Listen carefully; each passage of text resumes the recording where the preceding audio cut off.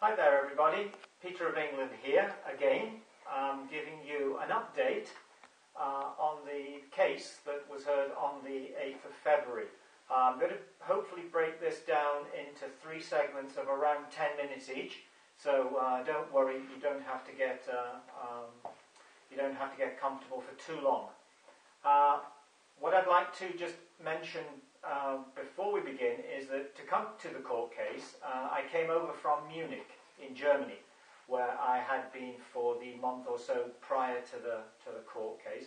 So I came over obviously at my own expense, and um, what I decided to do is to make a point at UK Border Agency Control at Manchester Airport, having flown in on the 1st of, um, of February, Friday evening. Uh, I was there to make a point that I had the prerogative under natural law, or common law, should we say, to enter into my uh, home country, England, without producing any um, photographic identity. And so this is what I did. I came up to the control uh, desk at uh, Manchester Airport. Um, this was around about 8 o'clock, I think, in the evening. And I presented myself at desk number 3 and spoke to a, a gentleman there. And I explained my situation and said that I would like to enter the country, uh, as was my natural right and uh, uh, authority to do so, unless the UK Border Agency or the Crown had any reason to suspect that I shouldn't uh, enter. We went into a small discussion then about I having to prove that I was a naturalised um, being or citizen, um, and he asked for documentation. He repeatedly asked for this. I explained that we weren't going to go down that route, and what was it going to take to get me into the country. The long and short of it is, I provided details of my public, strawman, official identity, which designates me uh, as a citizen of the UK, uh, as far as the Crown's concerned. And I gave them the identity details of Alan Peter Michael Smith, date of birth 18th of October 1957.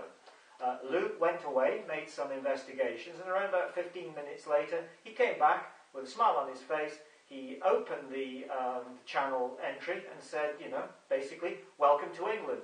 So the point I'm making there is that I prove that you can actually come in without showing an identity document, though I fully understand that the information that I furnished um, only gives them the ability to check that there is a, a, an entry document valid.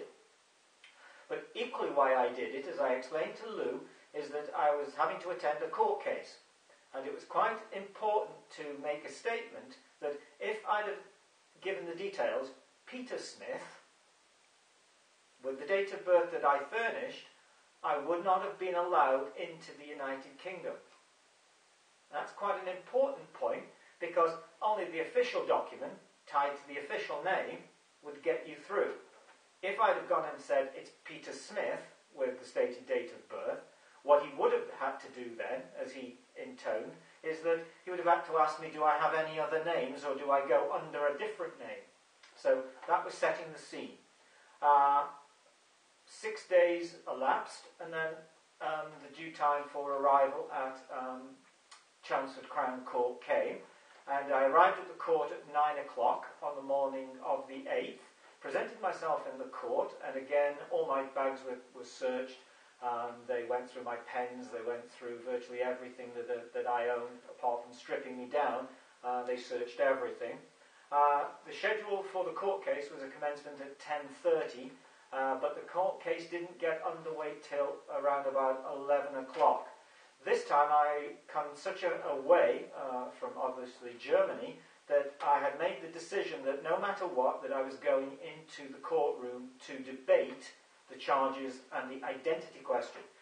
Um, for those people who are not aware, around about two weeks before the appointed court case date, I had furnished a letter of nine pages in length explaining to um, the judge, his, his Honour Justice Goldstaub, um, that the identity of the so-called defendant, Peter Smith, was obviously in doubt and that the Crown, under no circumstances, could find um, Peter Smith. Uh, the burden of proof was on the Crown to furnish those details, um, and I left that with them with obviously some background information. On the morning in question, um, the announcement was made would all those representing Peter Smith now kindly enter the court? So, as I decided I was entering no matter what, I went through the door into the court, stood in front of the judge, greeted everybody with good morning, uh, and then I made an announcement that I was here to represent the legal fiction Strawman entity known as Peter Smith, um, and that I was Peter of England. I maintain my common law rights and my prerogative under natural law and natural justice to maintain my identity and my, my, my stated uh, appellation, and that I had revoked previous identity uh, with, with the state. As far as the judge was concerned, that wasn't really uh, anything that he obviously wanted to hear at all. And so the very next thing uh, was the usher stood up and said, uh, Are you Peter Smith? Categorically denied the fact that I was Peter Smith. The judge then said, Well, in this particular instance, if you or no one else can show any identification for Peter Smith, then the court will not proceed and we will not go ahead. There was a little bit of debate then um, internally within the court.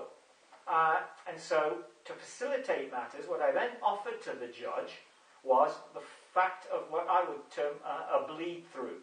I said to facilitate the proceedings of the mistaken identity of Peter Smith for Alan Peter Michael Smith, what I, Peter of England, was prepared to do was to step into my public straw man identification of Alan Peter Michael Smith to conduct the defence for the mistaken identity of Peter Smith. Upon that, the judge asked me if I had any identification, and therefore I then said, yes, I most certainly had. I explained to the judge that I'd entered into the country the week before, on that Friday, under the name of Alan Peter Michael Smith, and that there was categorically no Peter Smith. He asked if I had a passport, having explained previously that I entered without a passport identity document.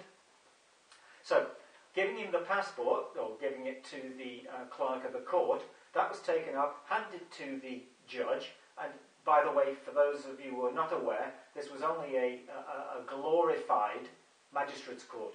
There was a Crown Court judge, and there were two magistrates either side. So this is what this was. There was no, there was no jury uh, present.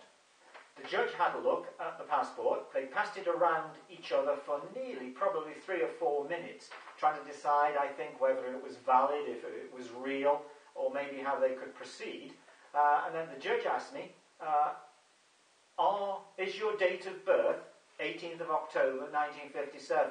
Whereupon I answered that uh, I was not in a position to say because I was not compos mentis or not uh, mentally aware of that date being my date of birth, and therefore it could only at the best be hearsay evidence as it was evidenced to me uh, on a document which I was not even aware that was in existence probably until the age of, let's say, 12 or 15 years of age. Uh, so I did not confirm that my date of birth was 18th of October 1957, and I didn't confirm that I was Peter Smith. All I was under the stated um, fact of that I was named Peter of England, representing Alan Peter Michael Smith, that I was also the chief executive officer of the company that represented the name, and also I was the general executor of the trust that was also administering the name Alan Peter Michael Smith with the date of birth 18th of 1057 and also any monikers, handles, or nicknames, or internet uh, names that might be attached to that. Um, so I'm going to draw this part to uh, a, a close now, and then when we come back with the part two, we will then go into the nitty gritty of what happened within the court and the cross examination. Thank you. Part two coming up in a moment.